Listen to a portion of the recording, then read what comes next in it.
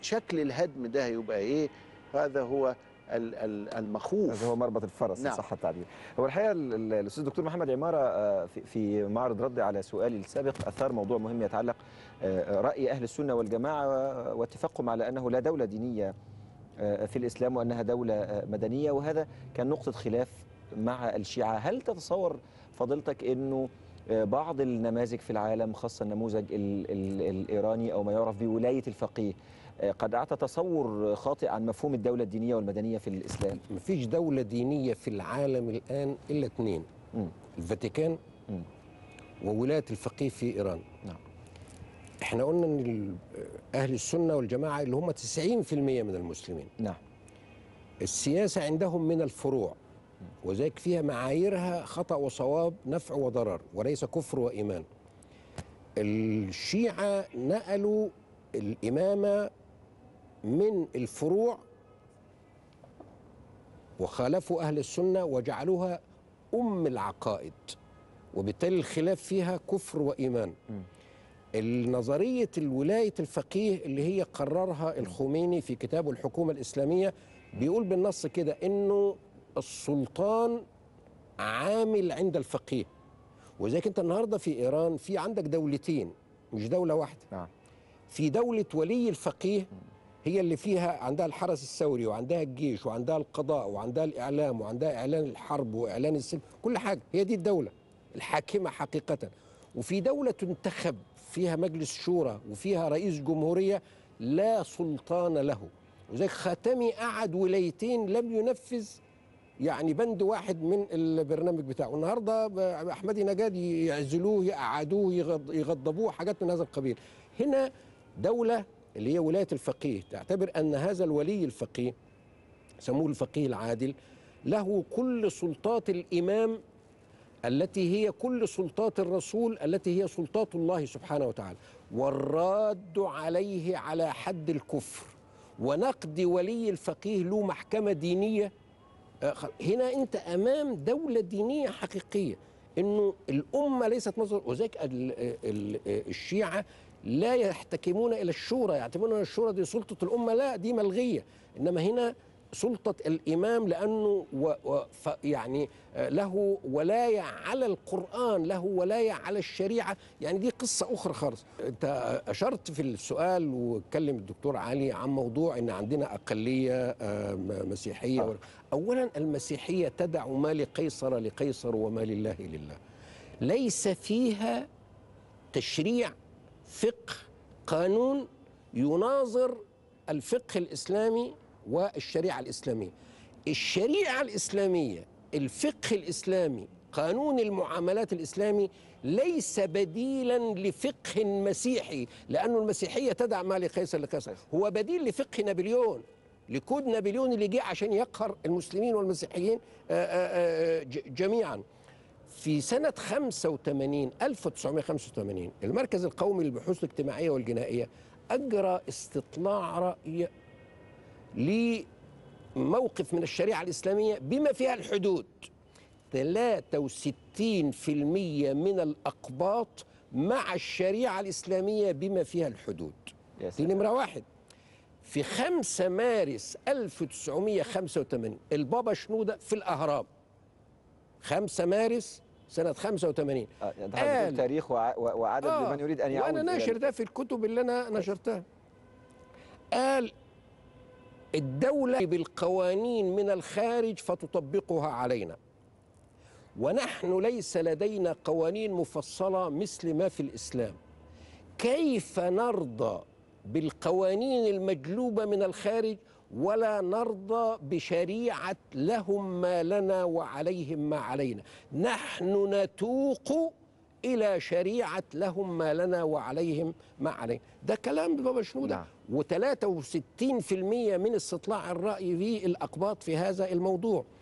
أنا عايز أقول كما أنه مفيش في المسيحية ال- ال- الشريعة الإسلامية فقه المعاملات في الشريعة الإسلامية بالنسبة لي أنا هو دين وحضارة. بالنسبة للمسيحي هو حضارة. يعني ليس غريبا. أنا ساعات كنت أقول طب أنا لو قبطي في مصر أيهما أولى بي؟ أن أحكم بفقه الشافعي اللي مصري زي زيه بفقه الليث بن سعد اللي أفتى بأن بناء الكنائس من عمارة البلاد ولا بفقه نابليون. من منطلق وطني القبطي أولى بالشريعة الإسلامية أولى بفقه المعاملات لأنه هو ليس لديه بديل عنه. ده هو المسيح قال مملكتي ليست في هذا العالم. وقال دع ما لقيصر لقيصر وما لله. شوف قيصر الوثني كان بيديله سلطان إنه يعمل القانون. طب ما بالك أنت بالأغلبية التي عاشت معك؟ وبعدين أنا عايز أقول الشريعة الإسلامية لها ميزة على الشرائع الأخرى. حتى في القانون اتفضل. معروف يعني ساعات في حاجات إحنا النهارده بنخجل إن إحنا نقولها إن هي أعلى الشرائع وأفضل الشرائع. ليه؟ مش عنصرية لأنها هي الوحيدة التي تعترف بالشرائع الأخرى. يا سلام. هي الش... هي الوحيدة التي تحتوي الشرائع الأخرى. تقول يتركون وما يدينون فيما يختص بهم. يعني إذا هي أفضل الشرائع وأعلى الشرائع لأن هي اللي بتعترف بالآخر. قبل هذه الشريعة لم يكن في الدنيا من يعترف بالآخر. ده دي يعني عندما الرسول صلى الله عليه وسلم يقول في في عهده لنصارى نجران وأن أذب عنهم وأحميهم بما أحمي به نفسي وأهل الإسلام من ملتي. يا سلام. وبيتكلم عن حماية الصلبان وحماية الكنائس وإن احتاجوا في مرمة بيعهم وكنائسهم إلى رفد ومساعدة يرفدون ويساعدون ليس دينا عليهم وإنما منة من الله ورسوله. قل لي فين شريعة في الدنيا حافظت على وجود كل أنواع الأقليات في المجتمع الإسلامي بما في ذلك الديانات الوضعية. الديانات الوضعية اللي هي زي الزرادشتية والهندوسية والكونفوشيوسية. كل الفقهاء جم قالوا دول أهل كتاب. وكان لهم كتب بس ضاعت. وعمر لما فتحت فارس قال طب نحن نعرف اليهود ونعرف النصارى. لكن دول بيعبدوا النار. فعرض الأمر على مجلس الشورى. اتكلمنا عن المؤسسات يا سلام. كان في مؤسسة المهاجرين الأولين مؤسسة النقباء الاثنى عشر مؤسسة الشورى اللي هي السبعين مجلس سبعين. عرض الأمر على مجلس السبعين وكان يجتمع في مسجد النبوة في مكان محدد في أوقات محددة. فوثب عبد الرحمن بن عوف وقال أشهد أني سمعت رسول الله صلى الله عليه وسلم يقول سنوا فيهم سنة أهل الكتاب. فعملت حتى الديانات الوضعية المسلمين كانوا بي- بيبنوا معابد للهندوس ولل آه، آه، آه، ويحافظوا على معابد النار يعني أنا عايز أقول هنا ولهذا تكون الشريعة الإسلامية هي أعلى الشرائع هي أفضل الشرائع لأنها الحامية لغيرها لغير المسلمين هي التي تدافع. شوف لما يقول لك يحمي صلبانهم وكنائسهم وبيعهم نعم. ومواطن السياح والرهبان بما أحمي به نفسي وأهل الإسلام من ملتي أنا عايز أقول إحنا مطلوب ندرس هذا التراث نعم نعلمه ونقول للناس طب إحنا دلوقتي وإحنا لسه جايين تقول لي خايف من الشريعة هي دي جديدة عشان تخاف منها ده إحنا عشنا بها. 13 قرن قبل الاستعمار كنا فيها العالم الأول العالم الأول على ظهر هذا الكوكب. بينما أوروبا والغرب عالم أول قرنين بالاستعمار. وبالغزو إذا أنا عايز أقول لازم نفصل إيه معنى الديني والمدني. يمكن ده ده, ده سؤالي اللي عايز أطرحه للدكتور أسامة. الحقيقة دكتور محمد يعني دور بقى العلماء والمفكرين وتحديدا يعني رجال الأزهر. في إبطال حجة آه، من يدعون أن ال- الدولة ال- ال- المدنية في الإسلام آه، قد تضر بال- بالأقليات أو أنه آه، لا تتناسب مع هذا ال- ال- العصر. كي- كيف نرد وكيف نوضح هذا؟ وفي عجالة لو سمحتي هو كما أشار مولانا فضيلة المفتي أن هناك تجربة تاريخية عريقة وطويلة وقرون من الزمن وعلماء هذه الأمة يضبطون هذه المسائل ويقدمون فيها عصارة الأعمار وبدأت تخرج كتابات كالمقارنات التشريعية لمخلوف المنياوي والمقارنات التشريع- التشريعية لعبد الله حسين التيدي وكتابات المرحوم السنهوري ومؤخرا بكتاب التجربة المصرية لمولانا فضيلة المفتي كتابات أستاذنا الدكتور عمارة. مجلس كهذا الذي نجلس نعم. فيه لتوضيح هذه ال- المفاهيم. لكن هي قضية حقيقة محورية وشديدة الأهمية. الإسلام آه، دين وحضارة. الإسلام دين عقائد وعبادات ونمط في التربية والأخلاق آه، يخاطب أبناءه وأتباعه. تولدت من هذه العقائد والعبادات حضارة فنون آداب علوم معارف تجربة بشرية عريقة وسعت أبناء الأديان الأخرى أجمعين. فصار الإسلام نظام إلهي دين يخاطب أتباعه وصار حضارة تسع الخلق أجمعين. كان مكرم عبيد عبيد باشا يقول أنا مسيحي ديانة مسلم حضارة. نعم نعم.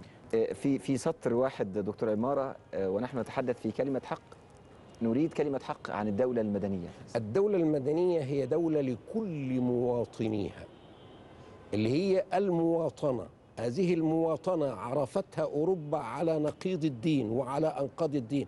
نحن علمنا إياها رسول الله صلى الله عليه وسلم عندما قال لهم ما للمسلمين وعليهم ما على المسلمين وعلى المسلمين ما عليهم حتى يكونوا للمسلمين شركاء فيما لهم وفيما عليهم. نحن نمط متميز يجب أن نتحدث عن المصطلحات وعن شؤوننا بعيدا عن النموذج الغربي الذي سيطر على عقلية العلمانيين وإذا ذكرت أي كلمة فلا بد أن تكون تفسيراتها عندهم تفسيرات غربية. الختام والخلاصة وكلمة حق أيضا مع فضيلة مفتي الديار. نحن دولة مدنية سنظل دولة مدنية نعم. ولذلك آه، آه، ليس هناك ما يدعو إلى أي تخوف. نحن لا نستطيع أن نكون دولة علمانية. نعم. ولا نست... وليس هناك في الإسلام دولة آه، دينية.